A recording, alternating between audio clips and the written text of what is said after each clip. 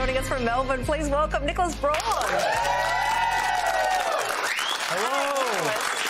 Hello. How are you doing, guys? We're great. Hey, congrats on the huge success of Succession. This will be the fourth and final season of the show. Are you ready to say goodbye to cousin Greg? Oh, it's going to be tough. He's been a good guy to be inside of. Um, and I'll be leaving now, Gregory. Goodbye. Is it true that you based the character of Cousin Greg off a dog? This is true. Uh, yeah, weird as it sounds. Uh, I was taking care of a dog at the time that I got the part.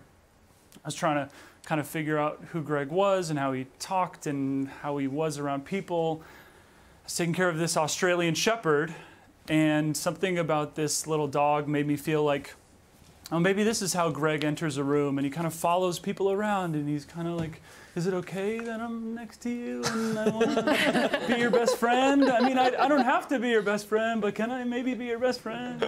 Um, so, yeah, thank you, Durango. I mean, I, I, feel like that's that's really paid off for you because you know Greg is like this very bumbling and awkward character, but fans just adore Greg. Like I'm not going to lie, you've made a few appearances in my WhatsApp book club chat.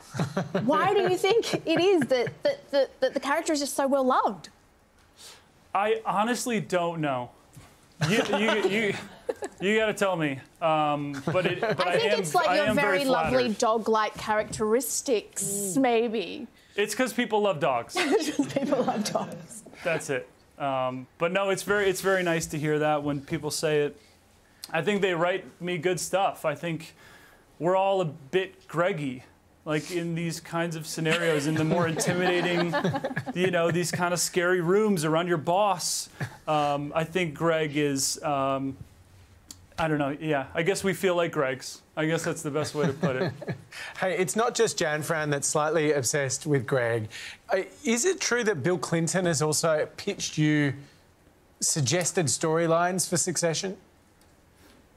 This is true. Okay. Oh. Uh, I met Bill, Bill, my buddy Bill.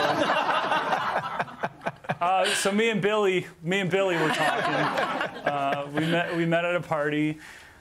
Truly crazy, kind of shocking moment. I met his wife, and then I was led over to him by some stranger who was like, "Do you watch Succession?" And Bill was like, "No, I don't."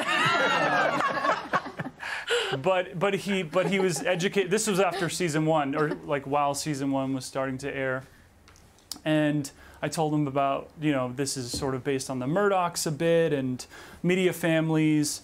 And he was like, okay, that sounds pretty interesting.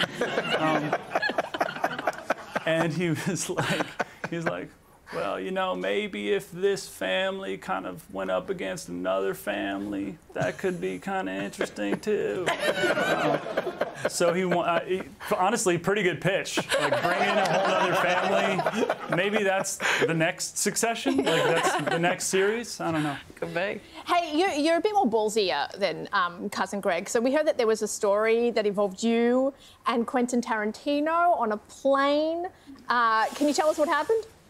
Yeah, so this was, I was about 21 years old. Um, I'd made this Disney Channel movie. Uh, it's they're called Disney Channel Original Movies, DCOMs. I'm not sure if they have them here in Australia, but probably. Um, and so I was in this movie, and there were ads on the back of like teen magazines, teeny bopper magazines. And I was on this plane and I saw Quentin when I walked past him. He was in first class and I walked past him. And when I got to my seat, I was like, I have to do something. Like, I have to say something to Quentin. And I ripped the ad off the back of this magazine because I had, you know, I was like obsessed with being on the back of a magazine. and so I, I ripped the ad off and I brought it to Quentin and I was like, Hi, Quentin. you don't know me. But this is me here on this ad. and we were all the movie's about time travel and these kids who are well, flying through the time space continu- continuum. So we looked ridiculous in snowsuits. I, I, know we'll wrap it up. It's a very important story. Oh. Um, anyway, Quentin oh took it, and that was that was an amazing moment for us. Thank you so and much for joining us. Don't forget, you can catch the fourth and final season of Succession. It's on binge. Thank you so much for joining us, Nicholas. Great to join you guys. So fun. I'll see you in person next time.